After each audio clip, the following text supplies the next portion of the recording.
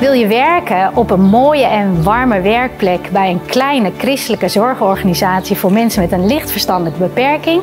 Dan is dit je kans. Van harte welkom. Stichting De Pinnenburg werkt op een professionele wijze aan een optimale kwaliteit van leven en welzijn voor mensen met een licht verstandelijke beperking. Dit doen we vanuit een evangelisch geïnspireerde christelijke levensvisie en mensbeeld.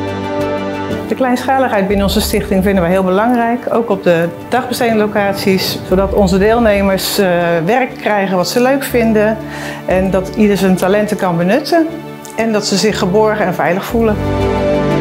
Je zorgt voor een groep bewoners en als persoonlijk begeleider begeleid je één of meerdere bewoners volgens een ondersteuningsplan.